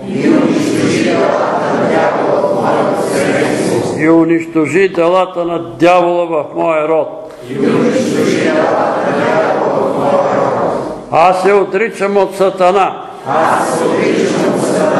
Отричам се от духа на Антихриста. Отричам се от духа на Антихриста. Отричам се от духа на лъже пророка. Отричам се от духа на лъже пророка. И от всичките им служители. И от всичките им служители. И не желая да имам нищо общо с тях. И не желая да имам нищо общо с тях. Нито те да имат нещо в мен. Нито те да имат нещо в мен. Аз искам тук на земята. Аз искам. И във вечността. Да бъда с Теб, Господи Исусе Христе. И с Твоите свети. И затова Те приемам. За мой личен Господ и Спасител.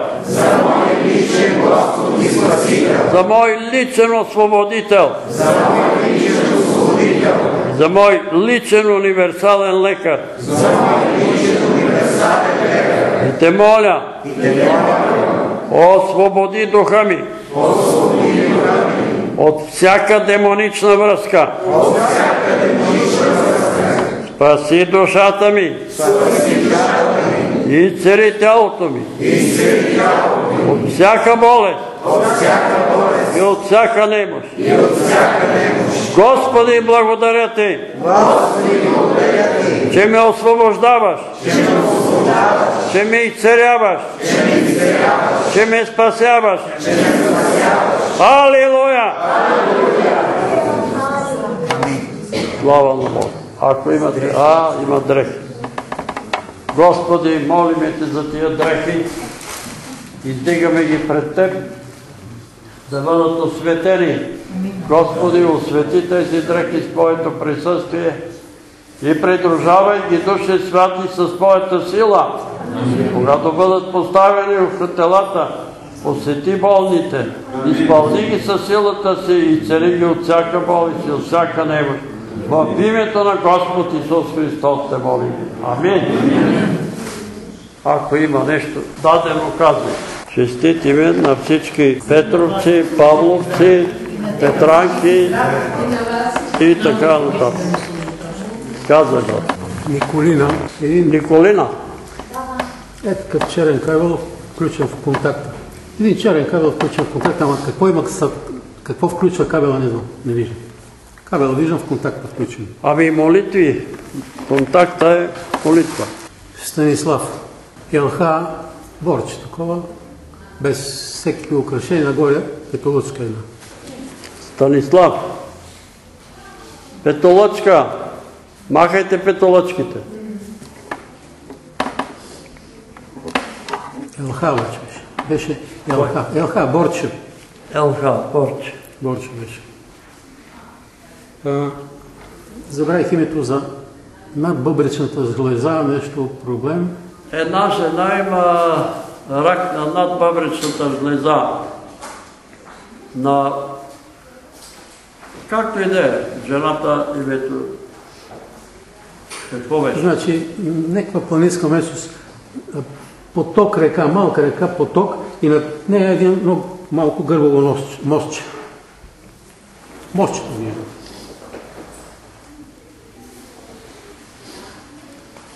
Не знам какъв е това мост. Нещо трябва да, Папата каза да да... установи мост с... да се огледа дали няма... дали е простила на всички хора, дали а, няма някаква омраза с някои... Като говори си спомням, че папата в един от последните му проповеди да, да не строим стени, а да строим мостове. Да, тя, тя си знае. Сестра Калинка, тя е тук. Кой? За сестра Калинка, ма, а за твоите близки ли са? Съпруга й. За тебе и за майката ли си? А, значи, това не беше много ясно, ама Абе, диван, брат Петре, ама нещо не е вред. Няма това седалките на дивана. Има само Диван. хублагалката и слага, но няма това седалката на дивана. А, и като се молят, че първата молитва, общата за Господи, изцели ни от главата до... Аз запиша до връх, казвам го до върха на ногтите на краката, защото имам проблеми с ногтите. А, идва... Казвам и на ногите, не само... Не, аз за себе си го казвам, за себе си, брат Петър, защото имам проблем с ногтите. Ами ти каза за себе си. За себе си го казвам. Като мине от главата до петите, то ще мине и през идва благодат. След това, като започна отричането, пак към края, пак благодат дойде. Добре. И последно, значи няколко пъти ми се напомня, уважаеми брати и сестри, обръщам се към всички, моля те, като вземете песнаите, отпред има Отче наш. Прегледайте и вижте как трябва да се произнася. Директно ви казвам, наш Отче наш, който да се сети Твоето име, да дойде Твоето царство. Моля ви, ако обичате, защото ми се напомня, аз ще го предавам само. Еми научили сме го така, ама ще го научим. За Николина, която е в кома, виждам една малка змия се движи. Може Да се маха змията, да си отива змията. Болестта да се маха. За Розалия и за Имела, които имат проблеми с зарастване на кофтите, виждам един елен с големи рога, мъжки екземпляр. Обикновено мъжките имат рога, женските значи? За Николай, за безсънието една кола и чистачките усилено работят на предното стъкло. Чистачките на колата. Чистачките, внимавай какво Гледаш. гледаш с очите. Гледаш по телевизора, показват някакви гласоти. Сменявай. Сменявай картината на следващата. Не ги гледай. А да видим какво е. Какво ще видиш? Нищо. Кръв, убива. Това е лъжа. Това е измислица, обаче това демон на убийството веднага пристига. И почва да те обработва. Аз еди кой си, така ще го направя, иначе ще му направиш. За брат Гергин, Гергин, виждам издигнат високо един български трикольор. какво е това високо? Български трикольор. Трикольор. Знам. Дигни знамето на България, по-високо. На Христос знамето да дигне. Може и кръв да взима. За психично натоварените хора, значи виждам четири коня, черни, които обаче някаква юзда ги държи. Движат се бавно, върват напред. В момента настъпва ерата на черния кон. Черния кон е символ на бъркотия, на анархия. И тия хора допускат в душите си бъркотията. Допускате и оттам стават, идват проблеми. Трябва да се учиме на дисциплина и наред, когато народа казва, извинявайте, че го казвам, а така народа казва. Жена, която не е раждала и мъж, който не е служил войник, нищо не струва. Когато един човек не е служил войник, той не се е научил наред. И жена, която не е раждала, нали, тя не е изживяла тия страдания, мъки, да носи бебето и така нататък. Е, има такива, които не могат така, те са, нали, Господ е допускал да не раждат, да не се обиждат, ако има такива, и са раждали, обаче да имат, да бъдат така изходителни към тия, които са се мъчили и да помним родилните мъки на нашите майки. Така пише Библията. Синко, чети, помни родилните маки на майка ти и не я оскърбява. Има ли друго? За дрехите се чуват фанфари. Фанфари ще има резултат. Да се изправим. А, брат, а, За брат Юли, като се молеше за дядо и от всички се събра сила и отиде към... отиде към него. Дай Боже да видим добри новини. От дядово Владимир. Той е демон на псориазис да напусне, да се махне. Искам само две думи. Искам да благодаря на Бога за чудното преживяване, което имах в Турция, защото Бог беше непрекъснато с мен и ми показа чудесни неща и беше непрекъснато наоколо около мене и бях в такава обстановка, в която нищо не ми липсваше, особено Господ. Благодаря на Бога. И сега благодата на нашия Господ Исус Христос, любовта на Бога Отца, общението и ръководството на Святия Божий Дух да бъде с всички нас, с домовете ни, с чадата ви, с родовете ни, с църквата му на това място, с църквата му в град София, в България и в целия свят, от сега и до века. Амин. До нови срещи.